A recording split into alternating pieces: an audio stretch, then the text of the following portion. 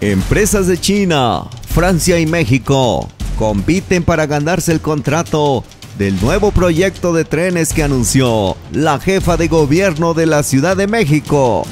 El tren ligero de la Ciudad de México contará con seis nuevas unidades. Autoridades prometen un servicio más rápido y eficiente. Con la adquisición de los nuevos trenes, el proyecto de Taxqueña a Xochimilco será más rápido y se dará abasto a 42 mil usuarios por día. Con una inversión de 600 millones de pesos, seis empresas nacionales e internacionales participan en la licitación para adquirir seis nuevas unidades del tren ligero el proceso ya comenzó y se espera que el próximo 2 de septiembre se dé a conocer el fallo por parte del gobierno de la Ciudad de México.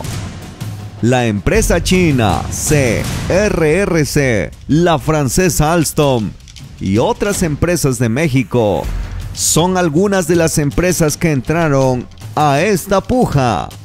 Esta licitación se realiza con la finalidad de ofrecer un mejor servicio a los usuarios que viven en la zona sur de la Ciudad de México.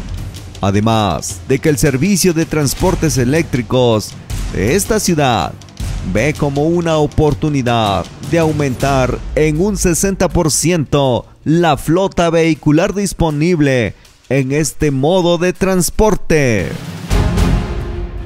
En conferencia de prensa, presidida por la jefa de gobierno, Claudia Sheinbaum, y con la presencia de Martín López Delgado, el director general del Servicio de Transportes Eléctricos de la Ciudad de México, explicaron todas las características principales de estos nuevos trenes que pronto estarán en circulación en la capital mexicana. El titular del sistema de transportes eléctricos de la ciudad detalló todo sobre los trenes. Su vida útil debe estar garantizada para 30 años. Las unidades van a ser de tracción y alimentación 100% eléctrica. Además, contará con dos vagones unidos por un articulado. Cada uno de los vagones contará con una cabina lo que permitirá que se desplacen de manera bidimensional, es decir, en ambos sentidos.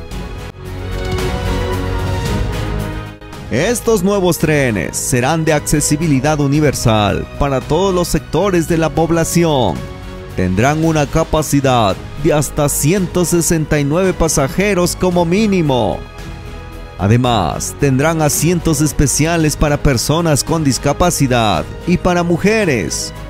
Además, contará con un sistema de ventilación para mantener la temperatura idónea.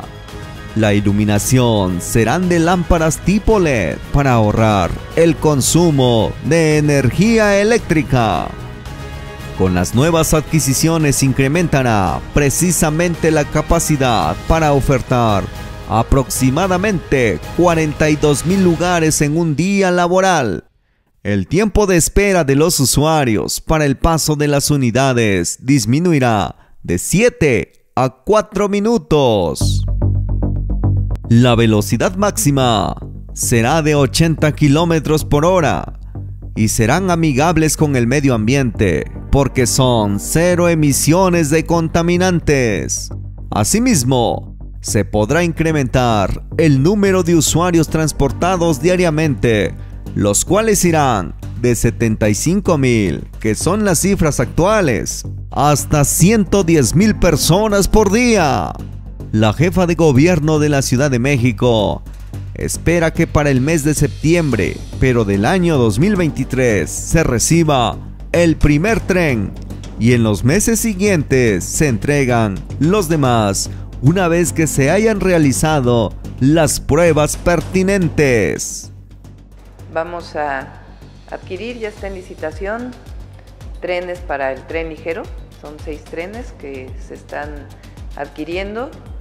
Ya fueron emitidas las bases, ya está en licitación, ya están eh, adquiriendo las bases y esperamos que el 2 de septiembre venga el fallo y para ello invitamos a el secretario de Movilidad, Andrés Layú, y a Martín López, que es el director de Servicio de Transportes Eléctricos. Con la finalidad de, ofrecer un mejor servicio a los usuarios eh, que viven en la zona sur de la Ciudad de México, el Servicio de Transportes Eléctricos de la Ciudad de México lanzó una licitación pública internacional para la compra de seis trenes ligeros. Con esta adquisición vamos a tener la oportunidad de incrementar en un 60% eh, la flota vehicular disponible en este modo de transporte. Eh, las características principales de estos nuevos trenes eh, son que la vida útil de ellos debe estar garantizada para 30 años cuando menos, van a ser de alimentación y de tracción 100% eléctrica, contarán con dos vagones unidos por una articulación, eh, cada uno de los vagones dispondrá de una cabina, lo que permitirá este, que estas unidades se desplacen de manera bidireccional, es decir, en ambos sentidos. Eh, contarán con rodadura férrea, que deberá ser compatible con la infraestructura existente actualmente en la línea del tren ligero. También serán de accesibilidad universal para todos los sectores de la población. Asimismo, tendrán una capacidad de hasta 169 pasajeros, como mínimo, 50 de ellos sentados, 25 en cada uno de los, de los vagones. Tendrán, este, tendrán asientos para personas con discapacidad y también, también contarán con asientos para, para mujeres. Tendrán sistema de ventilación, ¿sí? tanto de inyección y extracción para mantener el aire renovado constantemente. La iluminación al interior de los vagones será a través de lámparas tipo LED lo que permite disminuir este, las temperaturas y también tener ahorros en el consumo de energía. Tendrán indicadores de destino y número de tren, cada uno de ellos. Eh, tendrán también anuncios sonoros para eh, estar avisando de la próxima estación. También contarán con el tono de cierre de puertas e intercomunicación entre cada uno de los vagones con la cabina de conducción. También contarán con cámaras de videovigilancia al interior y exterior de, los vagones, con luces de tránsito, de frenado e intermitentes. Es decir, vendrán eh, totalmente equipados con las luces de navegación que deben disponer este tipo de, vehículos. Eh, los principales beneficios que se tendrá para la, la, población de la zona sur de la ciudad, principalmente eh, son los siguientes. Con la incorporación de estos seis trenes tendremos la capacidad para incrementar la oferta de plazas hasta en 42 mil lugares en un día laborable. El tiempo de espera de los usuarios para el paso de las unidades se disminuirá de 7 a 4 minutos. La velocidad máxima a la que pueden operar estos trenes será de 80 kilómetros por hora. Son totalmente amigables con el medio ambiente, hacer este, unidades de tracción eléctrica por lo que serán cero emisiones de contaminantes. También verán, vendrán equipados con GPS que permitirán ubicar en tiempo real a las unidades y también serán como una ayuda para regular eh, la operación de este servicio. Y algo muy importante es que con la incorporación de estos trenes podemos incrementar el número de usuarios transportados diariamente de 75 mil a 110 mil personas. fueron seis empresas eh, una empresa china, CRRC, Alstom Transport México, CAF, este, eh, CAF es este, con Bombardier, es la misma empresa ya, y eh, una empresa que se llama Hidromex, y otras dos empresas que, la verdad no recuerdo su nombre, este, no tienen un nombre así muy, muy cercano algo de, de transporte, seguramente vienen este, acompañando a otra empresa fabricante de trenes, pero fueron seis empresas las que compraron las bases y son las que están, este, estamos esperando que nos hagan su propuesta el 19 de este mes de agosto.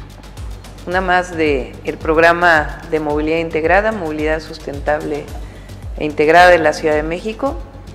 Eh, anunciamos, como saben, este año el nuevo cablebús, eh, la adquisición de los trolebuses, de los autobuses y ahora el anuncio de los nuevos trenes para el tren ligero del metro de la Ciudad de México.